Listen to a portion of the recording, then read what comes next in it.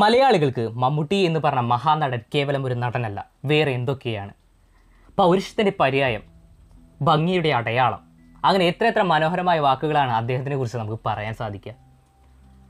ഒരു കൊച്ചു കുഞ്ഞിനോട് മുതൽ പ്രായം ചെന്ന ഒരു അമ്മാമ്മയുടെ അടുത്ത് ചെന്ന് ചോദിച്ചാലും പറയും മമ്മൂട്ടിക്ക അത് അദ്ദേഹത്തിന്റെ അഭിനയ പാഠവും അതുപോലെ തന്നെ അദ്ദേഹത്തിന്റെ ക്യാരക്ടർ മെയിന്റെയിൻ ചെയ്യാനുള്ള ആ ഒരു കഴിവ് തന്നെയാണ് എല്ലാവർക്കും അദ്ദേഹത്തെ ഇത്രയധികം ഇഷ്ടപ്പെടാൻ പ്രേരിപ്പിക്കുന്നതും ഇഷ്ടപ്പെട്ടിക്കൊണ്ടിരിക്കുന്നതും നമ്മൾ നോക്കുകയാണെന്നുണ്ടെങ്കിൽ കൂളായിട്ടുള്ള വ്യക്തിയായിട്ട് പോലും വളരെ ദേഷ്യക്കാരനാണ് ഭയങ്കര ചൂടുള്ള ഒരു വ്യക്തിയാണെന്നൊക്കെ എല്ലാവരും പറയും.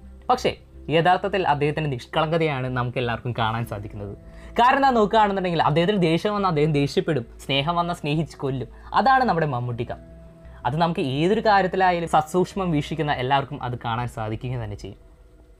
എന്തായാലും മമ്മൂട്ടിയുടെ ബർത്ത്ഡേ ആണ് നമ്മുടെ സെപ്റ്റംബർ സെവൻത്ത് അപ്പോൾ എന്തായാലും മമ്മൂട്ടി ഫാൻസ് ആയാലും നമുക്കായാലും വളരെ സന്തോഷമുള്ളൊരു കാര്യം തന്നെയാണ്. അപ്പോൾ എന്തായാലും മമ്മൂട്ടിക്ക് എന്റെ ഹാപ്പി ബർത്ത്ഡേ വിഷസ് അപ്പോൾ പറയുകയാണെന്നുണ്ടെങ്കിൽ പ്രായം ചെല്ലുന്തോറും ഇത്രയധികം ഗ്ലാമർ ആയിട്ടുള്ള ഒരു വ്യക്തി ഉണ്ടെങ്കിൽ ഗ്ലാമർ ആയിക്കൊണ്ടിരിക്കുന്ന വ്യക്തി ഉണ്ടെങ്കിൽ അത് തീർച്ചയായും മമ്മൂട്ടിക്കയാണ് പിന്നെ ഏതൊരു യൂത്തിനായാലും ഏതൊരു വ്യക്തിക്കായാലും ഇൻസ്പിറേഷൻ ചെയ്യാൻ അല്ലെങ്കിൽ ആ ഒരു വ്യക്തിനെ റോൾ മോഡലാക്കി വെക്കാൻ സാധിക്കുന്ന ഒരു വ്യക്തി ഉണ്ടെങ്കിൽ അത് തീർച്ചയായും മമ്മൂട്ടിക്കയാണ് ജീവിതത്തിൽ നമുക്കൊരു അച്ചീവ് ചെയ്യണ ഒരു കാര്യത്തിലേക്ക് പോകുമ്പോൾ നമുക്ക് റോൾ മോഡലായിട്ട് തീർച്ചയായും അദ്ദേഹത്തിന് വെക്കും. എന്തുകൊണ്ടാണ് നോക്കുകയാണെങ്കിൽ നമുക്കൊരു ഡ്രീം ഉണ്ടെങ്കിൽ ആ ഒരു പ്രൊഫഷനിലേക്ക് നമ്മൾ എത്തിപ്പെടുന്നതിനേക്കാൾ നമുക്ക് നമ്മുടെ കയ്യിൽ എന്തെങ്കിലും വേണം.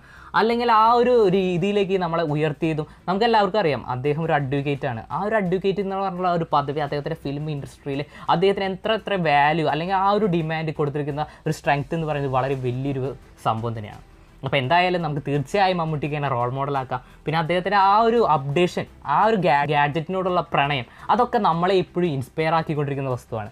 കാരണം വെച്ചാൽ ഒരു പുതിയൊരു വസ്തു വരുമ്പോഴേക്കും അദ്ദേഹത്തിന്റെ കയ്യിൽ അത് എത്തിച്ചേർന്നുണ്ടോ അത് അദ്ദേഹം മേടിച്ചിട്ടുണ്ടോ? കാരണം വെച്ച് കഴിഞ്ഞാൽ ആ ഒരു അപ്ഡേഷനാണ് അദ്ദേഹത്തിനെ ഇന്നും ഈ മൂവിയിൽ പോലും അപ്ഡേറ്റഡ് ആക്കി മാറ്റുന്നത്.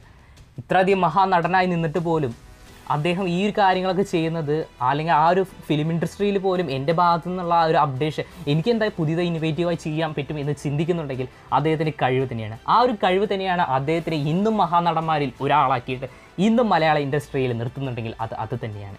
എന്തായാലും ദൈവത്തോട് നമുക്ക് ഇത്രയും നല്ലൊരു മഹാനടനെ തന്നതിൽ നമുക്ക് അഭിമാനിക്കാം പ്രാർത്ഥിക്കാം. It's me quarrel signing off